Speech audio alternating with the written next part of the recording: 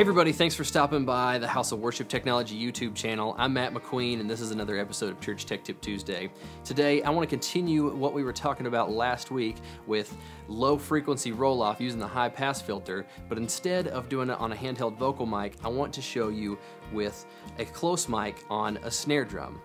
When you close mic the snare drum, even though you're only a couple inches away from that snare head, you're not only going to get snare drum sound, you're gonna get some of that low end from the kick drum that's completely unnecessary.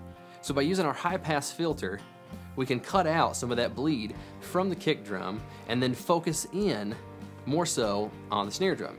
So I'm gonna show you in Pro Tools using an EQ that visually represents what's going on how to use that high pass filter and how it can benefit you. So listen to the kick drum disappear as we roll this high pass filter up.